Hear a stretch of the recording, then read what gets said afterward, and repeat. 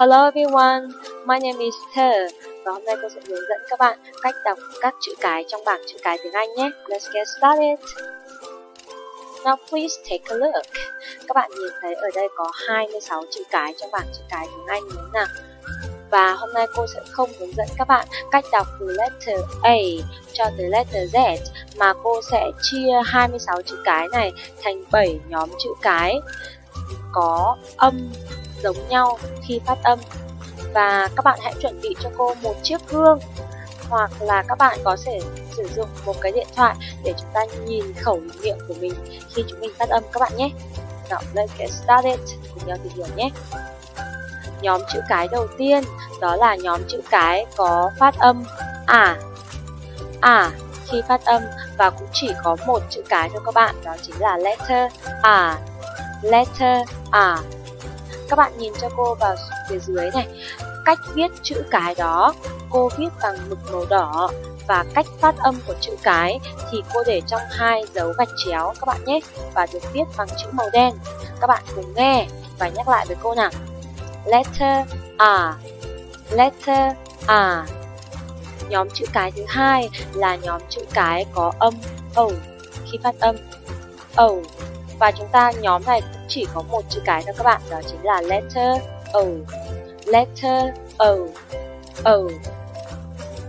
Nhóm chữ cái thứ ba là nhóm chữ cái có âm, i. I. I, khi phát âm. Và trong nhóm trong nhóm chữ cái này, chúng mình chỉ có hai chữ cái thôi. Letter I. I. Và letter Y. Y. Now look I, Y W I, Y letter Y Nhóm chữ cái thứ tư, đó chính là nhóm chữ cái có âm U khi phát âm U chúng ta có ba chữ cái các bạn ạ. Các bạn nhìn cho cô vào chữ cái đầu tiên nhé. Letter Q. K. U. Q. Letter Q. Letter U. Letter U. Letter W. Letter W. Tay của các bạn đâu? Chúng ta làm chữ cái W nào. Letter W.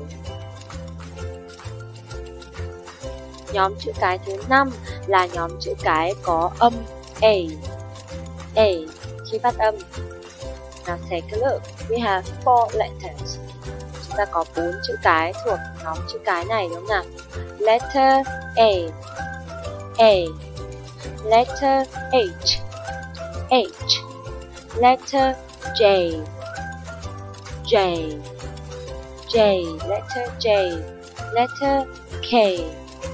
K, K, A, K, letter K. Nhóm chữ cái thứ sáu là nhóm chữ cái có âm E. E. Khi phát âm, chúng ta sẽ cùng nhau thực hành các chữ cái ở phía dưới các bạn nhé. Look. Letter F. F. L. L. Muốn cong lưỡi các bạn nên phát âm âm ừ ở dưới nào.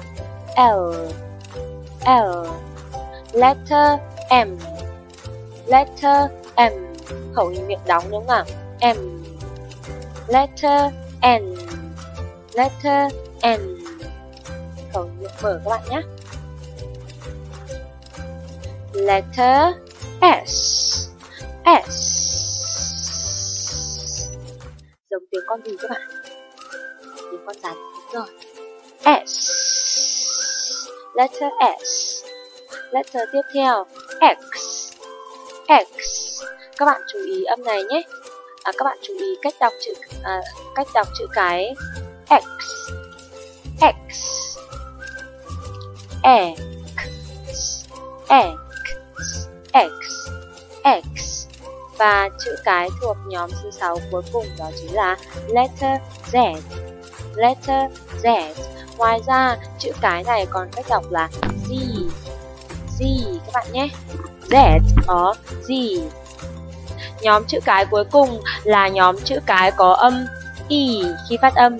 Nào, tay của các bạn đâu rồi? Chúng mình tưởng tượng à, khi phát âm này chúng ta cười các bạn nhé.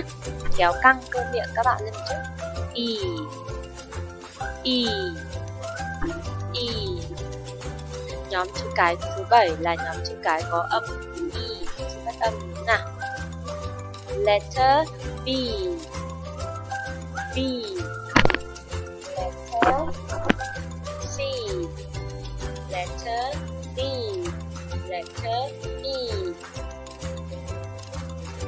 Letter G Letter G letter P, letter P, letter T, letter T, letter V, letter V. Vậy thì chắc chắn bây giờ các bạn đều có thể đánh phần tên của mình rồi nào. Cô sẽ thực hiện mẫu trước nhé. My name is Ter. T H O. T H O. My nickname is Sam. S A M.